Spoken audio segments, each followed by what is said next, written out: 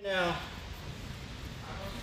when they say that there's no strength or speed or power in jiu-jitsu, I think that's kind of bullshit. right?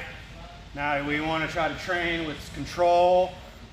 Obviously, we're taking care of our training partners and we all got to go to work tomorrow. Nobody wants to get hurt. Yes?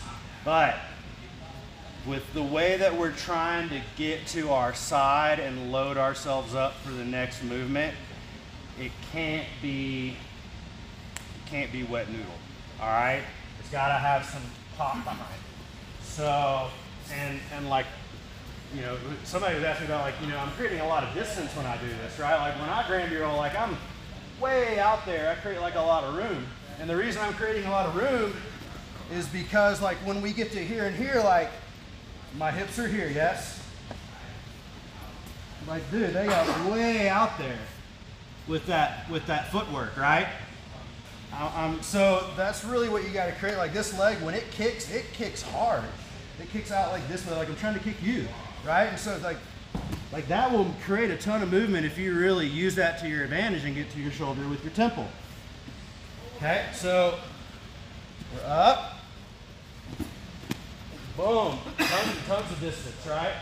And then when you when you when you decide to go through with the second part, like look, as this goes around, like I don't know, like I'm I'm using a lot of downward slicing with that heel to make a big, powerful arc so it can really carry me through.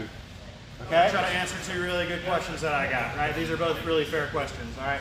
So the first question is, uh, uh, what happens if you're getting caught in like a double under stack, right? Because you're Granbying around and you're getting stacked. So um, real quick, what you would want to do is as I'm Granbying, he's starting to catch me in a stack, I gotta have like really heavy knees and strip these hands apart. Not let him get his hands together and not let my knees come here, okay? And then from here, I'm visually looking for an underhook. I'll get together with a gable grip and I'll stomp my right leg and end up in a nice type of guard situation like this. The other question I got was we get to here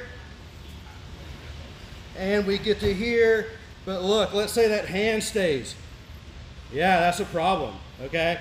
So as I get a go, I gotta like peel that hand with the inside hand. I have to like win an inside space and guide his arm, the outside arm, with the same arm that is doing the escaping.